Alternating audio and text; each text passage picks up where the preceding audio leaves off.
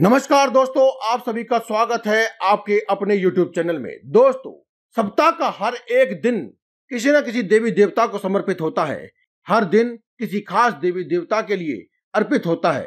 उसी प्रकार से सप्ताह के सोमवार को, शिव जी के लिए, मंगलवार को, हनुमान जी के लिए, बुधवार को, गणेश जी के लिए, वीरवार को बृहस्पति देव और विष्णु भगवान के लिए और शुक्रवार को माता लक्ष्मी और शनिवार को शनिदेव के लिए समर्पित करते हैं और वहीं रविवार को सूर्य देव के लिए समर्पित माना जाता है। दोस्तों, हनुमान जी के बारे में तो ऐसा भी कहा जाता है कि जब आपका कोई भी ऐसा कार्य हो जो लाख यत्न करने के बाद भी ना हो रहा हो तो आपको केवल एक चौपाई बोलनी है, कवन सो काज जग माही, जो नहीं होई तात तुम पाही। अर्थात, जग में ऐसा कौन सा वह कठिन कार्य है जो आपसे नहीं होता है? हनुमान चालीसा की एक चौपाई में तो यहाँ तक वर्णन है। संकट कटे मिटे सब पीरा, जो सुमिरे हनुमत बलबीरा। कहा जाता है कि हनुमान जी महाराज की कृपा से आप अपने जीवन में कैसी भी संकट में हो, कैसी भी विपदा में हो, उस परिस्थिति से, उस विपदा से तुरंत आपको निकाल सकते हैं। दोस्तों, आज की इस वीडियो में हम आपको बताएँगे, हनुमान जी महाराज को चढ़ा दें ये एक चीज़। आपके जीवन की हर एक समस्या का समाधान करेंगे बजरंग बली हनुमान। दोस्तों, आपने अगर अपने जीवन की समस्याएँ एक बार बजरंग बली को सौंप दी और बजरंग बली ने प्रसन्न होकर आपकी उन समस्याओं को स्वीकार कर लिया तो वह समस्या आपके जीवन में अब आपको ज़्यादा दिन तक सता नहीं सकती है। तो आज की इस वीडियो में हम आपको एक ऐसी चीज़ के बारे में बताएँगे, जैसे अगर आप बजरंग बली हनुमान को चढ़ा देते हैं तो आपके जीवन के सभी दुखों का व संकटों का नाश स्वयं बजरंग बली हनुमान करते हैं। तो दोस्तों, इस वीडियो को पूरा अंत तक अवश्य देखें। वीडियो अच्छी लगे तो आप इसे लाइक अवश्य करें। और अगर अभी तक आपने हमारे इस चैनल को सब्सक्राइब नहीं किया है तो पहले आप इसे सब्सक्राइब भी अवश्य कर लें, क्योंकि हम हर रोज लाते रहते हैं ऐसे ही ज़बरदस्त वीडियो जिनसे आप अपने जीवन को सुखमय बना सकते हैं और जी सकते हैं एक सुखमय जीवन। तो अब हम बात करेंगे कि कौन सी चीज़ है जिसे आप बजरंग बली हनुमान को चढ़ा देते हैं, या फिर वे कौन सी कौन सी चीज़ है, हो सकती है। हम आपको एक नहीं, अन्य भी बताएँगे। जिससे कि आप पता चलेगा कि कौन सी चीज़ चढ़ाने से आपको कैसा फल प्राप्त होगा, किस प्रकार की मुसीबतों को आप टाल सकते हैं। जैसे कि आपको नौकरी चाहिए तो नौकरी के लिए आपको क्या चढ़ाना चाहिए? कारोबार में उन्नति चाहिए तो आपको क्या चढ़ाना चाहिए? बहुत से लोगों को केवल धन लाभ चाहिए होता है तो ऐसे व्यक्तियों को बजरंग बली हनुमान को क्या अर्पित करना चाहिए? बहुत से लोग बेचारे कोर्ट, कचहरी आदि के मामलों से घिरे रहते हैं तो ऐसे व्यक्तियों को अपने संकटों से मुक्ति के लिए कौन सा उपाय करना चाहिए या फिर क्या चढ़ाना चाहिए? अगर आपका धंधा पानी ठीक से नहीं चल रहा है, आपकी बिक्री सही से नहीं हो रही है तो ऐसे व्यक्तियों को क्या चढ़ाना चाहिए? ऐसी सभी जानकारी आज की इस वीडियो में आपको अवश्य मिलेगी। तो दोस्तों, एक बार अपने सच्चे मन से कमेंट बॉक्स में लिख दीजिए, जय बजरंग बली। जो कोई व्यक्ति सच्चे मन से कमेंट बॉक्स में जय बजरंग बली बजरंग बली का नाम लिखेगा, मैं स्वयं बजरंग बली से उनके लिए प्रार्थना करूँगा कि उनके जीवन में सदैव सुख समृद्धि व शांति बनी रहे। सदैव संकटों का निदान होता रहे। दोस्तों, पहली चीज़ जिसके बारे में हम आपको बताने वाले हैं, वह है बीड़ा पान दोस्तों, आपने प्राचीन समय में बड़े बुज़ुर्गों को कहते सुना होगा कि उसने उसका बीड़ा उठा लिया। अर्थात, जब कोई किसी व्यक्ति के संकटों का या फिर किसी भी ज़िम्मेदारी का जब भार बोझ उठा लेता है तो उसे कहते हैं बीड़ा उठाना। वैसे ही अगर आप अपने जीवन में किसी समस्या से घिर चुके हैं तो ऐसे में आप बजरंग बली हनुमान को बीड़ा दे दीजिए। यानी कि दोस्तों, आपको पान का एक बीड़ा बनवा करके लेके आना है और आपको इसे किसी भी बजरंग बली हनुमान मंदिर में जाना है।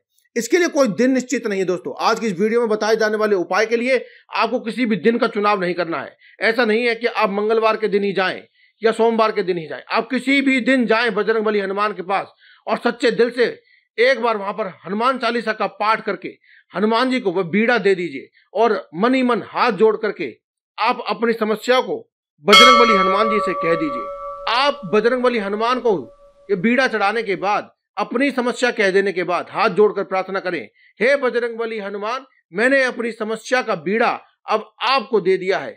आप जिस प्रकार आपने प्रभु श्री राम जी को अपने कंधों पर उठाकर उनके सभी संकटों का नाश कर दिया था, उसी प्रकार से अब मेरी बीड़ा, मेरी परेशानियों को अपने कंधे पर ले लीजिए, मेरे बीड़ा को अपने कंधे पर ले लीजिए और मेरी सभी समस्याओं का सर्वनाश कर दीजिए। अब देखिएगा कि आपकी समस्याएँ बहुत ही शीघ्र खत्म होने लगेंगी। दोस्तों, अगर कोई ऐसी समस्या है जो लाख यत्न करने के बाद भी दूर नहीं हो रही है, खासकर से धन की कोई समस्या चल रही है, धन की आवक नहीं हो रही, धन आने के सभी मार्ग बंद हो गए हैं, नौकरी व व्यापार नहीं चल रहे हैं, अगर आपको काम धंधा करते हैं तो उसमें आपकी ग्राहकी नहीं बन रही है बिक्री नहीं हो पा रही है, या फिर नौकरी करते हैं, या फिर नौकरी भी नहीं मिल रही है, नौकरी करते हैं तो उसमें प्रमोशन नहीं मिल रहा है यानी कि धन आने के जितने भी मार्ग होते हैं, उनमें अगर रुकावट आ गई है तो आप एक उपाय अवश्य करिए। आप लौंग, सुपारी और जायफल, इन तीनों चीज़ों को उठा करके अपने हाथ में, दाहिने हाथ में, यानी सीधे हाथ में आप उन्हें रख लीजिए। और मुट्ठी बंद कर लीजिए। बजरंग बली हनुमान जी के पास, चाहे किसी मंदिर में जाए, चाहे अपने घर में ही बैठकर करें, किसी भी दिन करें, किसी भी समय करें दोस्तों, बस आप स्वच्छ होने चाहिए, यानी कि साफ़ सुथरे होने चाहिए। बस आपको इसी बात का ध्यान रखना है। खास तौर पर अपने पैरों पर एक मग का पानी आपको अवश्य डाल लेना यानी एक लोटा पानी आपको अवश्य डाल लेना, धो लेने, पहुँच लेने हैं। साफ़ सुथरे पैरों के साथ आपको जाना है और हाथों को धो करके आप उसमें ये लौंग, सुपारी व जायफल डाल लीजिए। दोस्तों बजरंग बली हनुमान को लौंग सुपारी जायफल पसंद ही नहीं, बेहद पसंद है।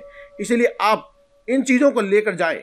अगर आपको लगता है कि आप शनि दोष से परेशान हैं तो अब उन्हीं लौंग में से एक लौंग उठाकर चमेली के तेल का एक दीपक जलाएँ और उसमें डाल दीजिए और हनुमान जी की आरती करें और बाकी के लौंग सुपारी जायफल को अपने हाथ में ही रखें। इससे आपके शनि दोष भी दूर हो जाएँगे।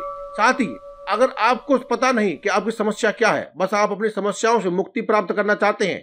धन संबंधी जितनी भी समस्याएँ हैं, धन की आवक को बढ़ाने के लिए अगर रुके हुए सभी मार्ग बंद हो चुके हैं, उनको बढ़ाना चाहते हैं तो आप एक चमेली के तेल का दीपक प्रज्वलित करें बजरंगबली हनुमान के सामने और उससे बजरंगबली हनुमान की आरती करें। उसके बाद वहीं बैठ करके एक बार हनुमान चालीसा का पाठ भी अवश्य करें और वहीं बैठकर आपको खड़े नहीं होना है बैठे बैठे ही आपको ये तीनों चीज़ें लौंग, सुपारी व जायफल, इनकी कोई गिनती नहीं दोस्तों। जितनी आपके मन में आए उस समय कि मुझे दो चढ़ानी है तो दो ही चढ़ाना। अगर आपकी पाँच मन में आए तो पाँच चढ़ाना। आपको जितने भी मन में आए, आपको एक मुट्ठी भरकर ये सभी बजरंग बली हनुमान के सामने आपको अर्पित कर देनी है। उसके बाद एक माला उठाकर आपको बजरंग बली हनुमान के सामने प्रभु श्री राम की माला का जाप करना है।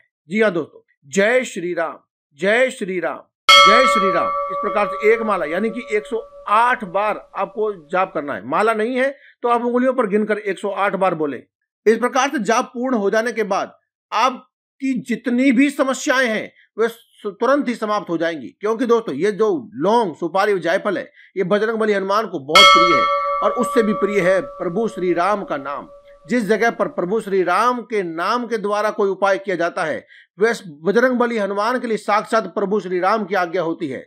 और इतिहास गवाह है दोस्तों कि बजरंग बली हनुमान कोई भी बात टाल सकते हैं, लेकिन अपने आराध्य प्रभु श्री राम की अवेलना बिल्कुल भी नहीं कर सकते हैं। इसलिए जब आप इस प्रकार से उपाय करते हैं और अपनी समस्याओं के निदान के लिए ये उपाय करते हैं और जय श्री राम का उच्चारण करते हैं तो आपके जीवन से वे सभी समस्याओं को दूर करने की ज़िम्मेदारी स्वयं बजरंग बली हनुमान अपने कंधों पर ले लेते हैं। इसीलिए दोस्तों कमेंट बॉक्स में एक बार जय श्री राम कमेंट में अवश्य लिख दें। ऐसे व्यक्तियों के ऊपर बजरंग बली कृपा करेंगे। हम खुद भी उनके लिए प्रार्थना करेंगे। दोस्तों, अगर गरीबी इतनी ज़्यादा हो गई है कि अब आपसे सहा भी नहीं जाता तो दोस्तों, आपको केवल एक उपाय करना है। यह उपाय रामबाण उपाय है दोस्तों। इस उपाय के बाद आपको और कोई उपाय करने की ज़रूरत ही नहीं रह जाएगी। इस उपाय को करने के लिए आपको एक सूखा नारियल लेकर आना है, बिना पानी वाला नारियल लेकर आना है और बिना छिला लेकर आना है। आप इस नारियल को लाने के बाद हनुमान जी को चढ़ाए जाने वाले सिंदूर को भी लेकर आए। आप इसे गंगाजल आदि डाल करके इसे घोल ले और उससे उस नारियल पर श्री राम लिख दे और बजरंग बली हनुमान को चढ़ाकर अपनी गरीबी का नाश करने के लिए प्रार्थना करें। दोस्तों, ये उपाय कभी भी खाली नहीं जाता। जिस प्रकार से अभी हमने आपको बताया कि बजरंग बली हनुमान कुछ भी सह सकते हैं, लेकिन अपने प्रभु श्री राम की अवेलना बिल्कुल भी नहीं कर सकते। इसीलिए इस उपाय को करते ही आपके जीवन की सारी समस्याओं का समाधान स्वयं बजरंग बली हनुमान करते हैं। इसके अलावा दोस्तों, आप दो पीपल के पत्ते ले लें और एक पीपल के पत्ते पर अपना नाम और दूसरे पीपल के पत्ते पर श्री राम का नाम। आप चमेली के तेल में मिले हुए सिंदूर को, जो बजरंग बली हनुमान पर चढ़ाया जाता है, इस सिंदूर को मिला करके लिखें। दोस्तों आपको इस प्रकार से दो नहीं, पूरे छह पत्ते लेने हैं। अब इनको दो दो के जोड़े में बना लें, यानी कि एक पत्ते पर आपका नाम, एक पत्ते पर राम जी का नाम, और एक पत्ते पर फिर से आपका नाम, एक पत्ते पर फिर से राम जी का नाम, एक पत्ते पर आपका नाम और एक पत्ते पर श्री राम जी का नाम। इस प्रकार से आपको टोटल छह पत्ते लेने हैं और तीन जोड़े बना लेने हैं।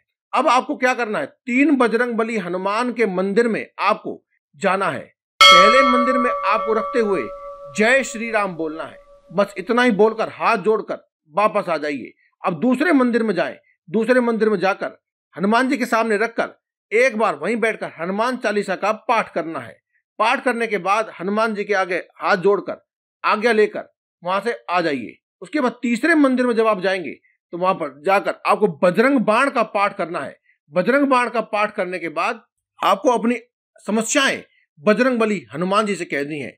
दोस्तों, ये उपाय सर्वश्रेणी उपाय है। यानी कि इस एक उपाय से आपकी जितनी भी समस्या है, उनका अंत हो सकता है।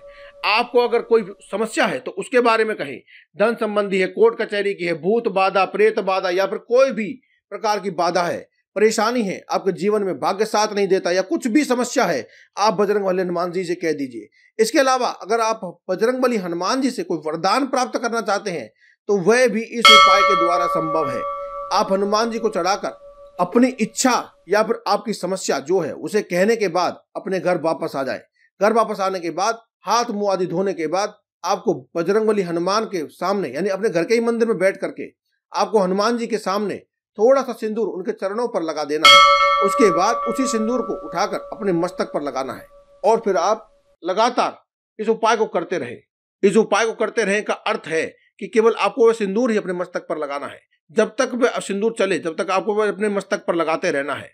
इस उपाय में इतनी शक्ति होती है दोस्तों कि इसके आगे कोई भी भूत बाधा प्रेत बाधा नकारात्मक शक्ति टिक नहीं पाती है और सभी प्रकार की समस्याओं का अंत होकर आपके जीवन में सदैव आपको तरक्की ही मिलती है।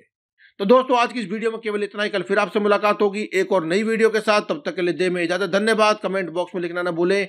जय माता दी, जय शिव शंकर, हर हर महादेव, जय बजरंग बली